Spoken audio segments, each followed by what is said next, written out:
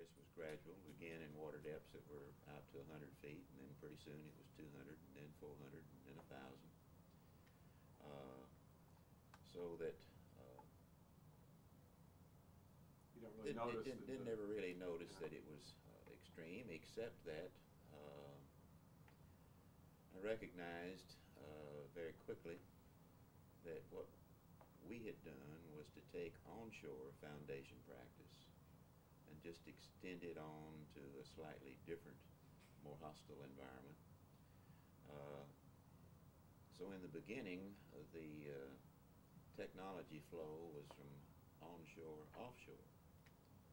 But as we got on into the very large and very long piles, then that information began to feed back from offshore back to onshore practice. Gulf of Mexico, the soils, to a very large extent, are uh, relatively soft clay materials.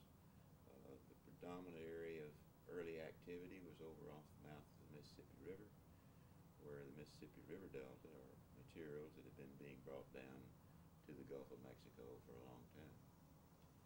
Uh, So what were the main challenges you had in extending this te- technology from onshore to offshore?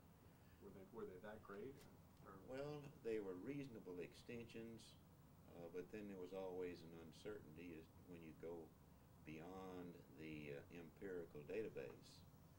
And actually, as a result, we uh, encountered a variety of kinds of things that began to then create changes from what had been done offshore. And ultimately then led to modifications of the general technical criteria that we were, uh, were using. I might mention that uh, uh, there are three of us from McClelland Engineers that are being honored today, and each one of us had a slightly uh, different role.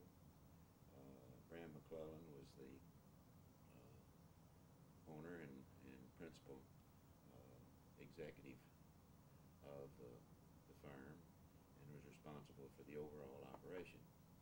Bob Perkins uh, was the one who did most of the innovations in terms of ways of investigating the foundation conditions that existed at the proposed site location.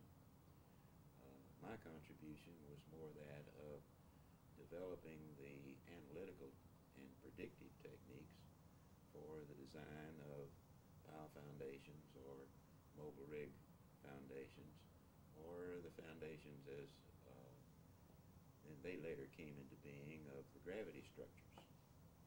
Uh, so that some of the uh, procedures that we more or less documented for ourselves and included in reports to our offshore clients uh, were criteria of uh, how to predict the, power capacity, how to uh, predict the performance of laterally loaded piles, other aspects of that sort. Those criteria were ultimately adopted by API and in their their RP, RP2A Yeah.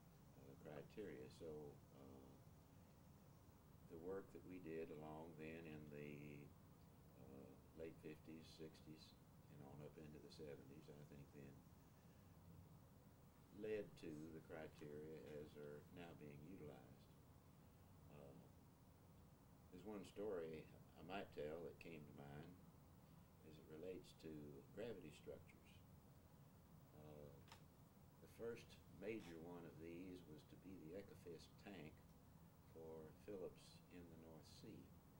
It was to be built by Doris in water about 270 feet deep. They had already built a number of pile-supported platforms, but they wanted to be able to store the oil as, as it was being produced and then transfer it uh, later to tankers to be uh, transported into shore.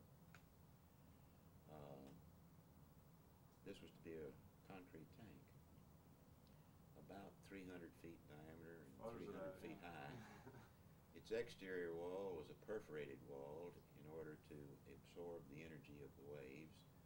Uh, the tank concept was by Doris of France, and uh, we were working for Phillips and uh, at in helping review what the foundation design and, and reach a conclusion that what has been proposed will be satisfactory. Foundation conditions there are different than they are in the Gulf of Mexico. Is it la- Largely boulder clay? No, uh, they actually are a very dense sand. Huh. Uh, the, as we went along with the design, uh, the final point that became of major concern was liquefaction of the sand under the dynamic loads of the waves uh, in a manner not unlike what happens occasionally in an earthquake when it shakes the sand and the sand can under certain conditions of density and uh, earthquake intensity really just turn to a liquid and anything supported on it just kind of slumps on down into it. Well, the Norwegian government became concerned and called for a, uh, a conference to be held in Oslo uh, with uh, the Norwegian Geotechnical Institute, who were their uh, semi-governmental geotechnical uh, agency. Well, since I really didn't know anything about earthquakes here in Houston, uh, I called on a good friend by the name of Kenneth Lee, uh, who was at UCLA and was one of the top three uh, earthquake geotechnical experts in the U.S. He happened to be working in uh, New York that summer. Made a deal with him to go with me to uh, to Oslo, and so I met him at Newark, and uh, we got on a 747 and got seats together in the, the lounge upstairs. And we worked on the problem all night going over, and uh, what we were doing was exchanging what he knew about liquefaction and what I knew about the soil conditions as they existed. And uh, as a result of that all-night effort going over, we reached a conclusion that there was no problem. That turned out to be not quite adequate for uh, uh, the Norwegians. While they did not uh, put a hold on the progress of the, pro- of the structure, they uh, went ahead and assigned NGI the problem of evaluating it further with laboratory tests and a whole lot of sophisticated analyses. About two years later, uh, Lawrence Bjerrum, who was the chief operator of the uh, NGI, was at a meeting in Canada and met with Ralph Peck, who at that time was the uh, uh, the geotechnical expert for the U.S. and who was aware of the problem because I had discussed it with him. And uh, so Ralph just kind of asked him, well, how did this problem on the Ekofisk tank come out?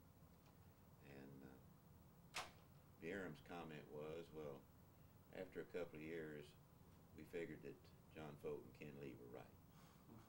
So uh, a lot of the times what we were doing was largely based on judgment and intuition. Uh, but I think we've we did a pretty good job.